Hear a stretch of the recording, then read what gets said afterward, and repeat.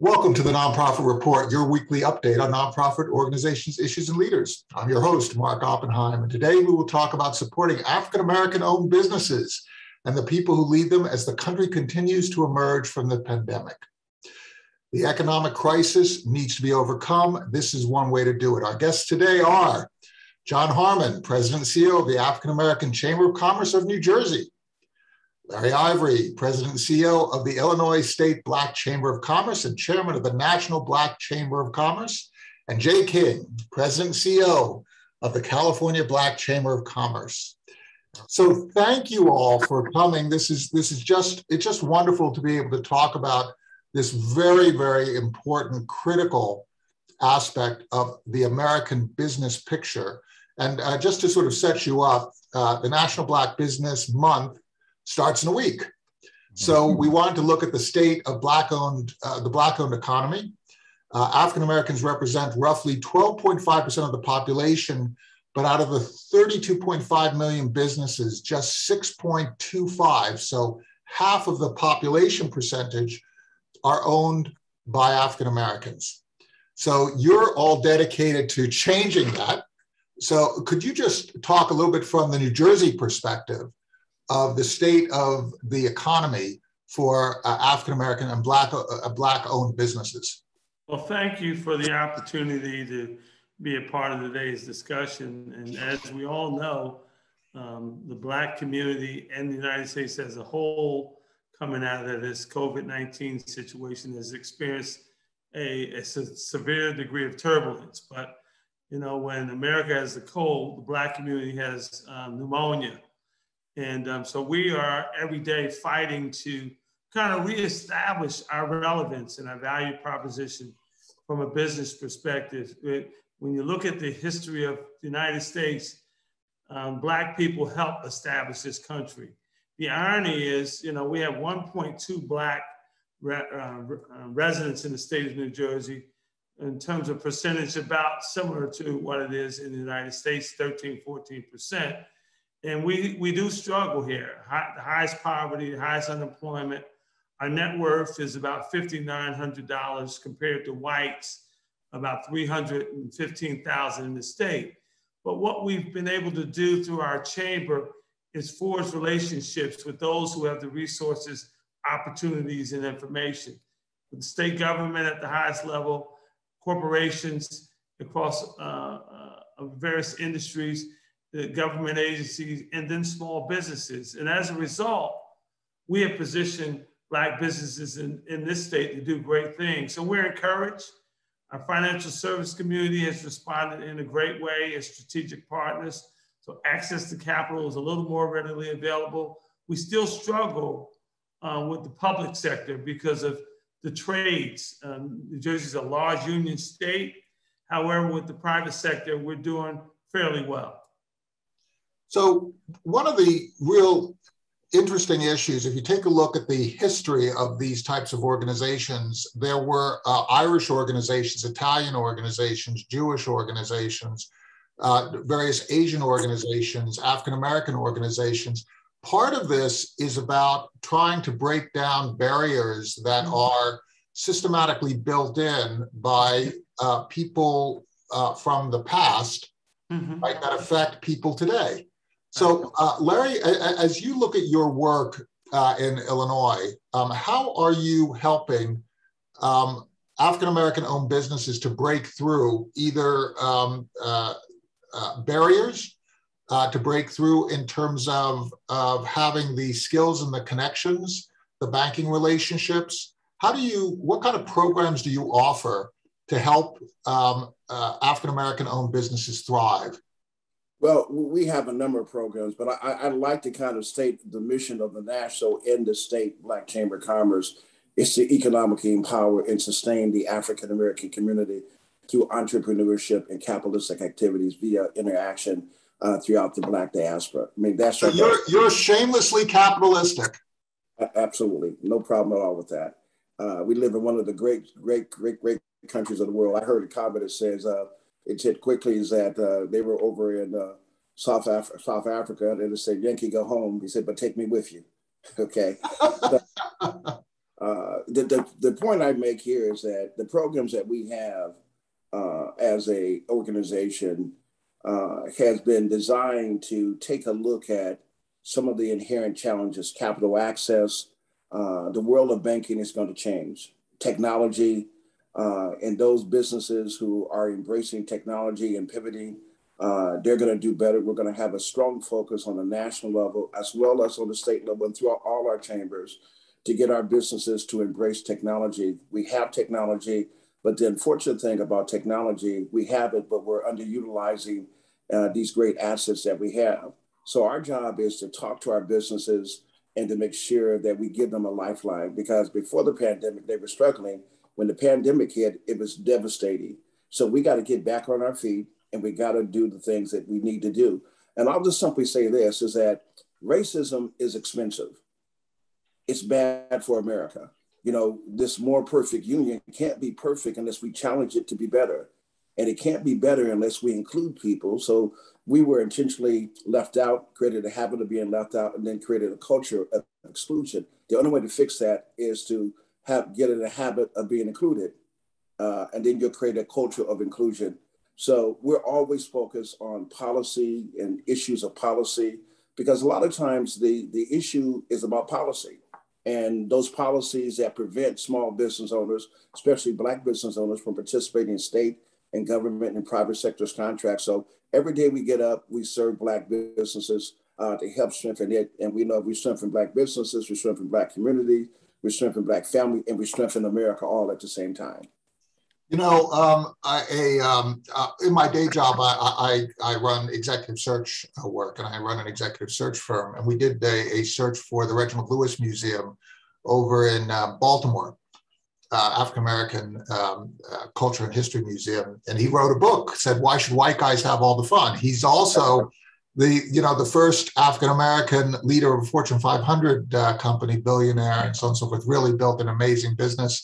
So, Jay, um, you're also you get on board with the capitalistic sensibility that uh, and the shameless capitalistic sensibility that that uh, that Larry uh, um, was was promoting. Um, how, how do you in, in California? It's a huge state, right? And and it's a state with real historic uh, issues, just as all of our states do, in terms of uh, the relationship of the state to uh, African American um, business owners, to African American leaders. Uh, how do you look at, at serving the entire state? It's, it, it's so huge and there's so many different regions with different regional issues. Well, we have 30 different chamber partners around the state. Right. So, um, and so we do that through our partnerships. And, you know, you have to, when it comes to capitalism, this is a capitalistic country, you have to be shameless or you're going to be poor. And, you know, and we've been conditioned in the idea of working 30 years and retiring and living off a pension. And in the 1900s, that worked. We're not in the 1900s anymore. And California, we make up 6.6% of the population. There's only 2.3 million African Americans in the whole state of California, but we spend $96 billion a year in the state of California.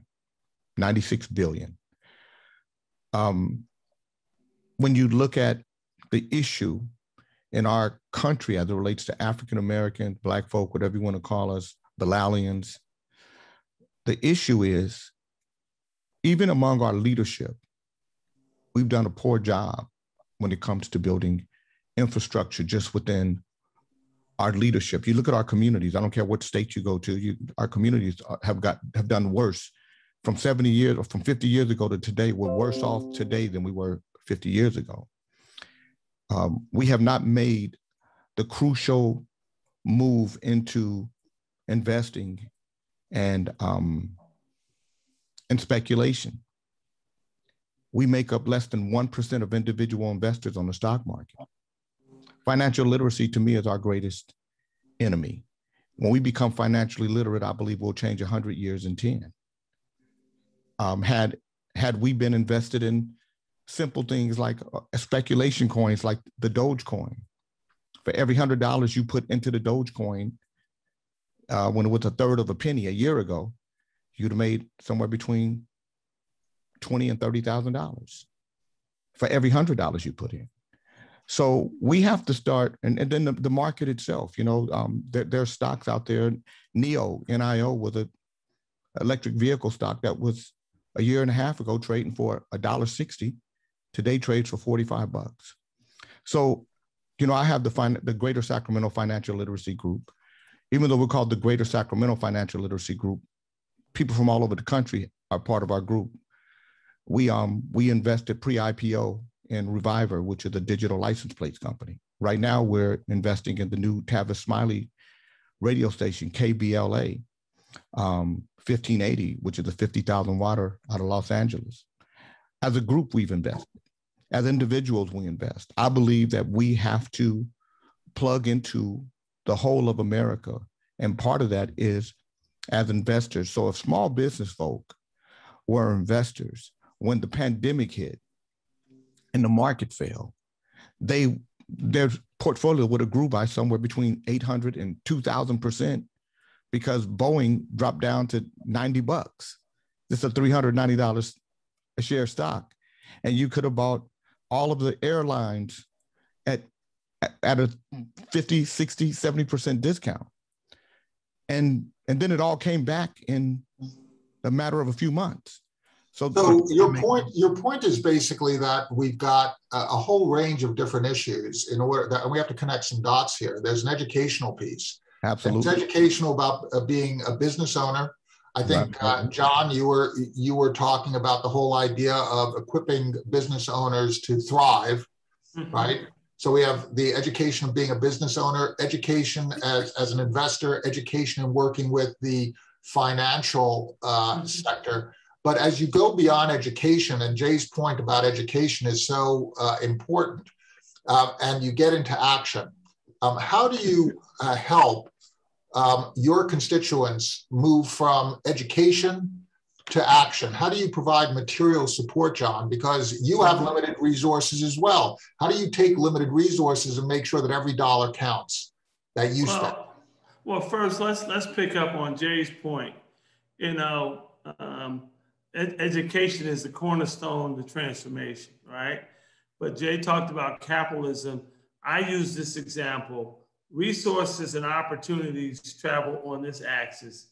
Black people are traveling on this axis. The chamber is the intersection. If you're not connected to where the action is, you're going to be marginalized every day. Um, within that um, cohort, if you will, are relationships. So you, you have to establish relationships and you can't demonize capitalism and free enterprise because that's where the transformation takes place. So what we do specifically, um, we get with legislators to make sure that policy makes sense. We led the effort to establish a bonding and technical assistance program for Black businesses because if you don't have a bond, you can't participate on public contracts over 200,000. Right. So if I'm if I'm African American or any business and I don't have a bond, right? I might have the capability, I might have the people, I might have the competence. Right. But and and the, the problem with government contracts is they they sometimes won't even tell you why you get rejected. There you go. So as a result of that, we got the legislation passed, got a Republican governor, Christie, the signer in the law, passed unanimously. And in a, in a year and a half, we've done about 30 million in bonds. Wow. That's a game changer for, for many Black businesses. We have an ex offender entrepreneurship program and workforce right. program. So the people that are on the bottom or been marginalized still have talent, right?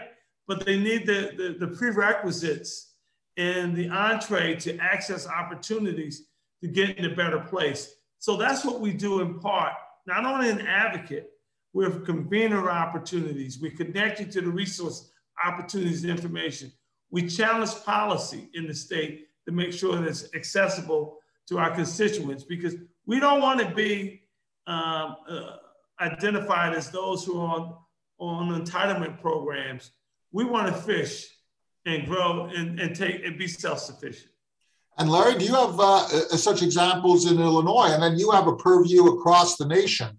Um, do you see examples of that type of intersection of practicality and advocacy that re- results in changes that uh, also cross political political uh, barriers? Oh, absolutely.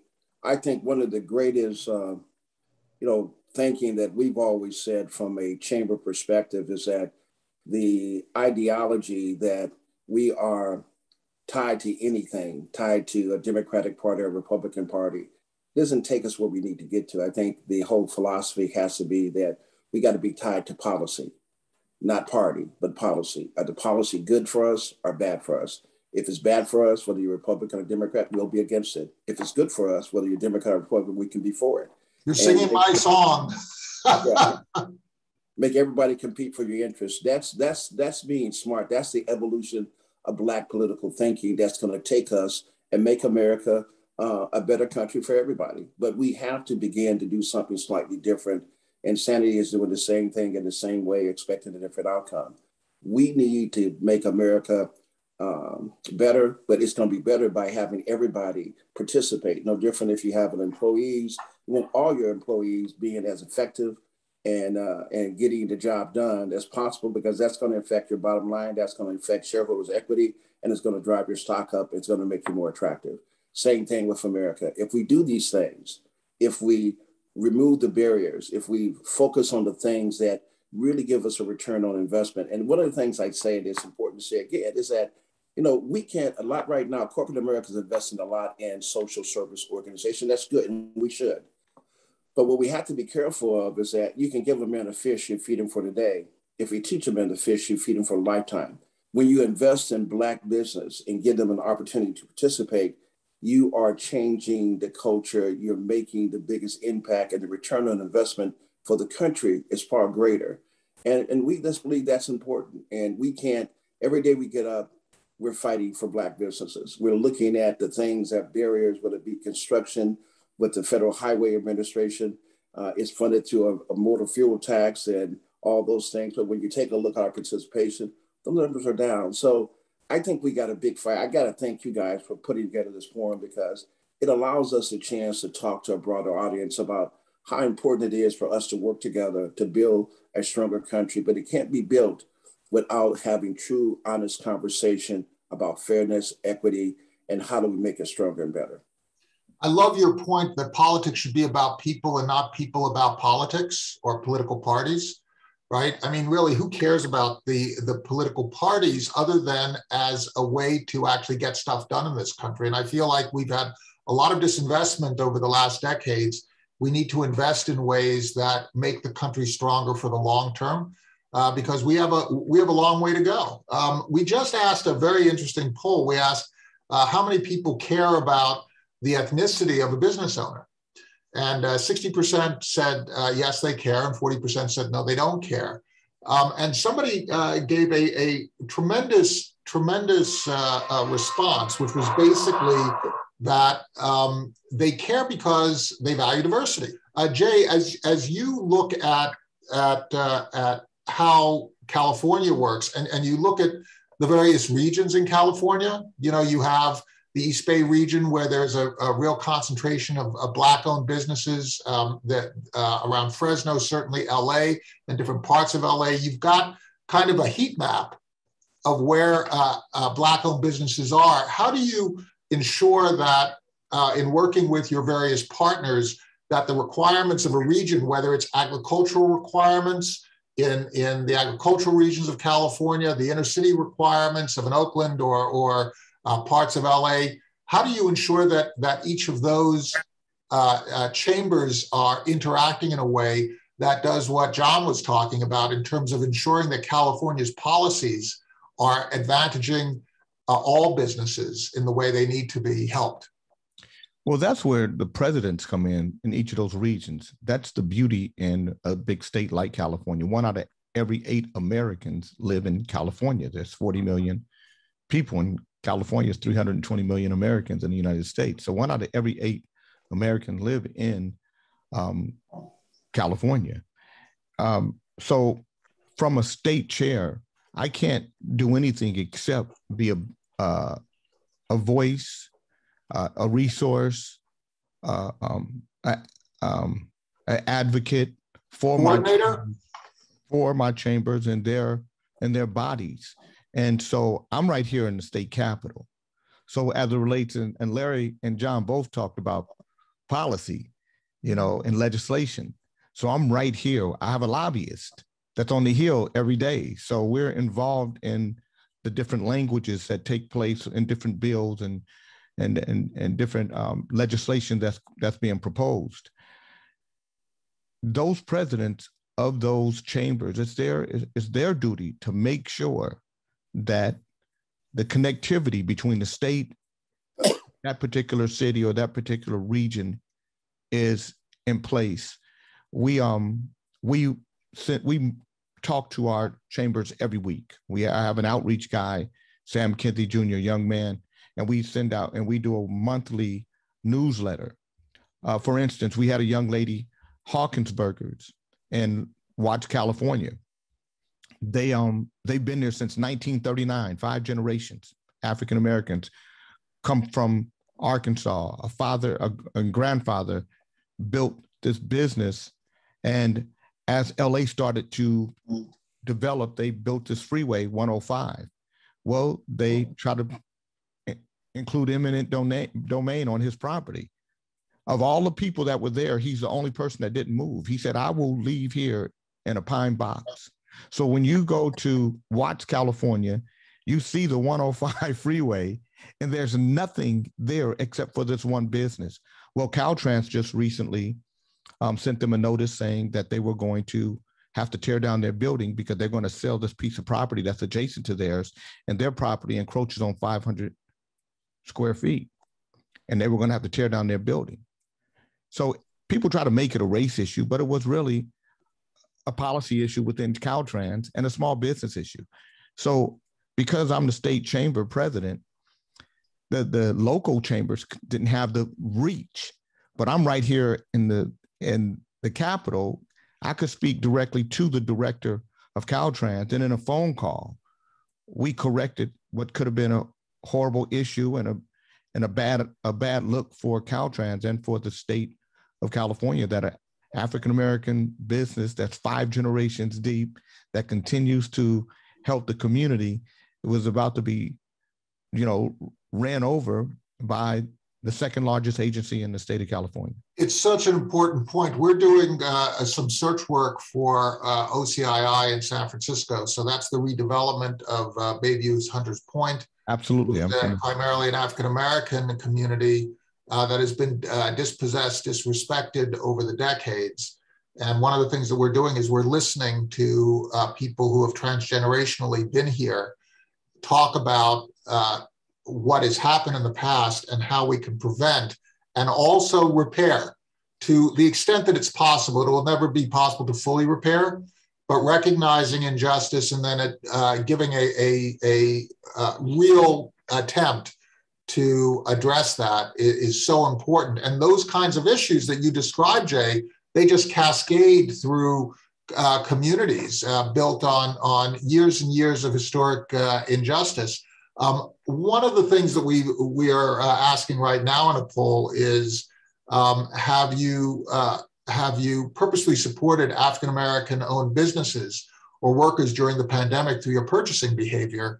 And we're finding about uh, two thirds uh, say no, not specifically, and one third says says yes.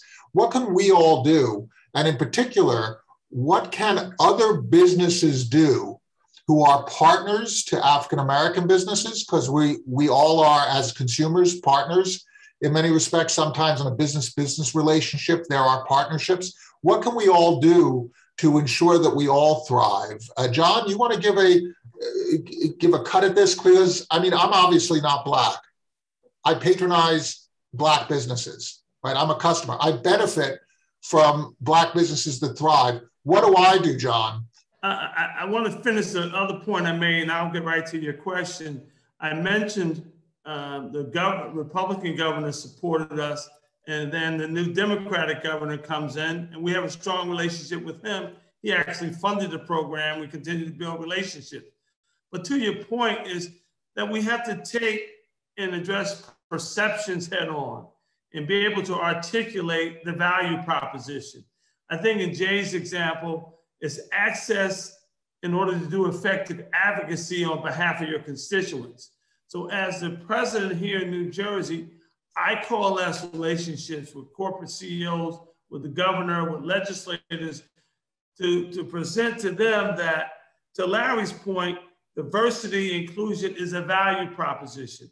And, and but we have to acknowledge that before we can get you know the disparity we have to acknowledge it up front but our representation on behalf of those businesses is key to forging the relationships to advance a more ecosystem that's inclusive. And that's what we do to get at to get at the heart of your question. We're all in this together. We're all either Americans, New Jerseyans, Illinoisans, Californians, all trying to make this our state, our country more competitive through inclusion. So that's that's the point, right? What I can do is recognize that your thriving makes me thrive. Right? Absolutely. Your advantage makes me and I have a stake in your prosperity, right, Larry? Absolutely. Yes. Absolutely. Uh, we're, you know, if if the economy tanks, all of us uh, get hurt by it. So, you know, it's just good business and just a real basic principle of being a good human being, a good Christian, well, or a good Muslim, is to be helpful to your fellow. You know, our legacy is what will we do to make the world a better place because we were here. And people want to know, and I leave this comment that says, people want to, it's not who you know. If they say it's, it, it's not what you know, it's who you know. But I say that's not it. It's, it's who knows you. And then the question is, what makes you worth knowing? What do you do that mm. people ought to come to your business that you do so well that people want to come see you because you add value? And today is all about how we add value. The value of Black people in the Olympics and everything else that we do has been outstanding. We have to understand that America is stronger when everybody else is stronger, and they haven't done right by Black people in this country. They need to take an honest look, forgive themselves, and we need to get on with the business of becoming, uh, maintaining our position globally, and even getting better and become the light that sits on the hill that everybody says they got it right. Russia don't get it right. Only place that has it right is that we have it right, but we can't do that in some ideology and not tackle the real truth and the real problem of the lack of participation when they benefited at the height of slavery. Four million Black people worked for free, gave them a global competitive advantage. There is work to be done. We can do it. And I trust America to be a better place for all of us. You want white consumers, and you want Black consumers, and I want Black consumers and Latin Hispanic consumers, and I want Asian consumers, and I want uh, right, Larry. I mean, that's that's really what it is. It's like we're we're going. Hey, we America, we have to strengthen each other, right? I mean, we have an investment in each other, don't we? We do. Our, our kids, we're, we're, we're going to leave this country to them, and it's going to be a better place for them or a worse place. We care about our kids we ought to care about doing something right now to make it stronger and better. And Jay, part of this is dialogue, right? You have a you have radio programs that that you continue the uh, you, your version of dialogue on. Part of it is just talking to each other, right? Sharing knowledge. Sharing knowledge, but also, um, you know, as Larry said, you know, th- there's a debt that's owed to Americans of African descent post slavery. I don't even include slavery, post slavery, when I'm supposed to be equal with the same equal inalienable rights as every other American. And um, I was segregated. My dollar circulated in my community up to 100 times. The closest dollar to the black dollar was the Jewish dollar. It circulated in its community up to 40 times. But nobody knows that. When my community started doing well, they had these folks called night riders that were made up of lawyers and doctors and mayors and sheriffs and folk that are part of our government that came and burned down our townships, destroyed our businesses. Just imagine if the Rockefellers and the Kennedys and the DuPonts and the Vanderbilts, if their if their land was taken from them, what kind of value would they have now? And in 1910, 8 million African Americans collectively owned 15 million acres in these United States. Mm-hmm. In 2021, 43 million African Americans collectively own 1.2 million acres. 90 8% of our land stolen from us, even by the Bureau of Land Management, was put in place to protect it. So we have to pay that debt. Um, um, I believe every African American man, woman, and child should, should receive a one-time payment between 350 and a half million dollars, uh, no taxes um, for five years. Any old debt that's 18 months old or older uh, goes away. 25% down payment on a home, uh, free um, free uh, uh, education. These are things that we have to do because you can't pay the debt that you owe if you total it all up. But what you can do is you can do different things that enable us to be um, to make America great for once. And the only way America is going to be great is when it pays its debt that it owes to original Americans so that we can have the great country that we speak about. Another great topic. We are going to do a future uh, program on the, the question of reparations. How do we uh, deal with historic injustice in the United States? But in the meantime, I want to thank you all for uh, helping us to understand a little bit more about African American Chamber of Commerce uh, and, and some of the issues. John Harmon, President and CEO of the African American Chamber of Commerce of New Jersey.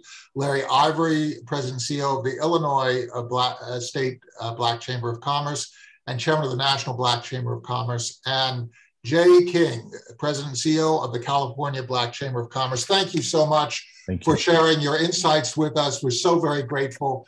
Have a great day. Everyone stay safe. Thank you. Thank you, gentlemen. Take care. Bye-bye.